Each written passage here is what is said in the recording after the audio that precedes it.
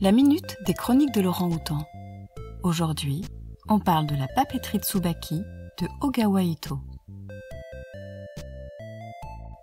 Bien que j'adore les bibliothèques et les librairies, je crois que mon commerce favori reste les papeteries.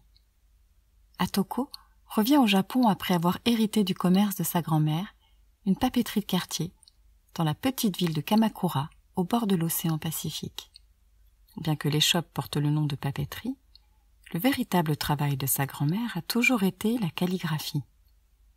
Notre héroïne s'improvise donc auteur public. Enfin, elle ne s'improvise pas totalement. Éduquée par sa grand-mère depuis sa plus jeune enfance, à cet art ancestral, elle sait comment répondre avec justesse aux demandes de ses clients. Une tâche magique, celle de l'écriture japonaise. Tout est dans le détail, que ce soit le choix de la couleur de l'encre, du papier, de l'enveloppe, et même le choix du timbre, il faut également maîtriser les us et coutumes du pays.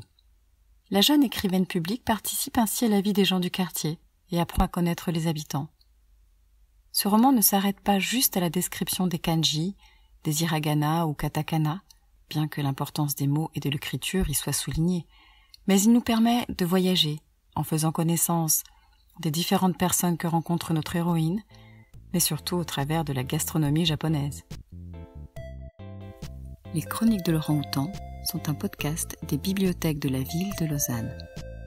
La chronique d'aujourd'hui vous est proposée par Mélanie.